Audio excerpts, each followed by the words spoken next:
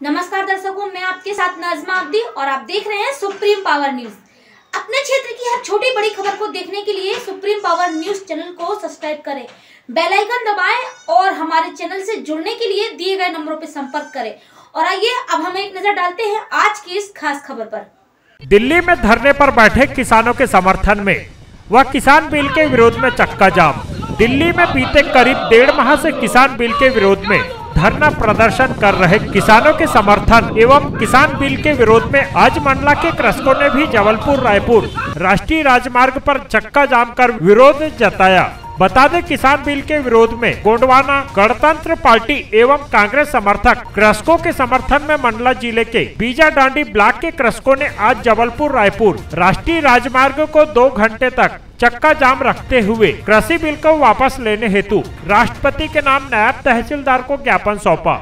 Supreme power news के लिए नारायणगंज, मंडला से अनिल रजक की रिपोर्ट। भैया आप लोग बैठे हैं, किस पर्पज से बैठे हैं? आज जो किसान संगठनों के द्वारा जो भारतवर्ष में आज जो एन एल हाईवे को जाम करने का था, जो किसान विरोधी बिल वापस लेने के विरोध में आज किसानों के द्वारा जो यह आज बीजा डांडी ब्लॉक के समस्त किसान संगठन आज एन एस थर्टी को जाम किए हुए हैं। तो हमारे साथी, समस्त साथी, पूरे बारह बजे से तीन बजे तक जगह जाम करने का आह्वान किया गया है और उसी के संदर्भ में आज हम लोग एन एस थर्टी पे बैठे हुए हैं। जी इसके बाद भी और कोई इस प्रकार की धरना वगैरह करने का विचार? अगर सरकार ये तीनों कानून वापस नहीं लेती तो एक उग्र आंदोलन की चेतावनी रहेगी आज से। जब तक सरकार किसान कृषि कानून बिल वापस नहीं लेगी तब तक वो एक उग्र आंदोलन जारी रहेगा। अगर समय रहते अगर सरकार वापस नहीं लेती है बिल तो।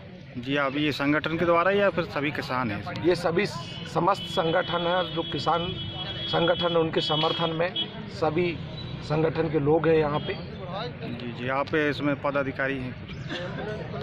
मैं यहाँ पे किसान संगठनों के समर्थन में कोयतुल महासभा का प्रदेश अध्यक्ष एंबुलेंस को निकलने देते राजेंद्र पट्टा निकल जो समस्त किसान भाइयों के साथ में हम यहाँ एन एस थर्टी पे बैठे हुए हैं।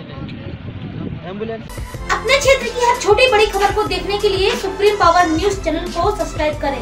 बेल आइकन दबाएँ और हमारे चैनल से जुड़ने के लिए दिए गए नंबरों पर संपर्क करें।